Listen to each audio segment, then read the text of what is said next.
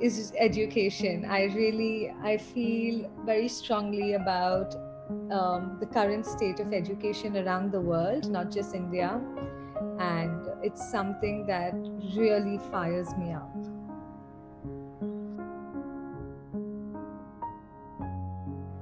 I would say I'm I'm going to fulfill my mission. I'm now um, more rooted, grounded, and secure in my own being. I'm currently looking for um, and a way. I'm, I'm find, uh, designing a manner in which to redesign the educational landscape so that we can create um, opportunities for children to thrive and not just survive. When I was in a very well secure job last year and I was getting a promotion, I decided to quit because I realized that was not aligned to um, my values and I did not want to compromise who I was to become something, even though that would be more valued in society. Fill your cup first and ensure that you are full before trying to reach out and serve others. Um, and always know who you are, what you stand for. I think the worst thing about me is um,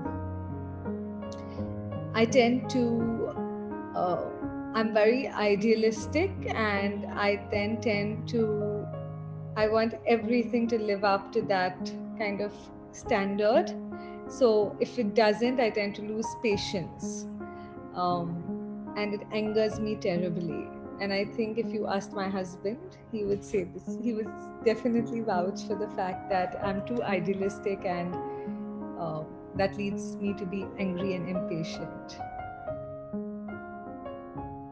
My current mentor is Dr. Daisaku Ikeda. He's um, the head of a Buddhist organization called the Soka Gakkai International. I encountered him a decade ago, and ever since I joined the practice, um, I haven't met my mentor, but I have communicated with him via uh, different modes, and I read a lot of what he writes, and he truly embodies um, everything I'm looking for in a mentor, and I feel blessed to have found one in my lifetime. I think what I'm currently looking at is um, uh, partnerships with people uh, to expand this network and expand the uh, range of what we can do so that the impact achieved will be larger. And uh, i think tie-ups yeah with uh, people who share the same vision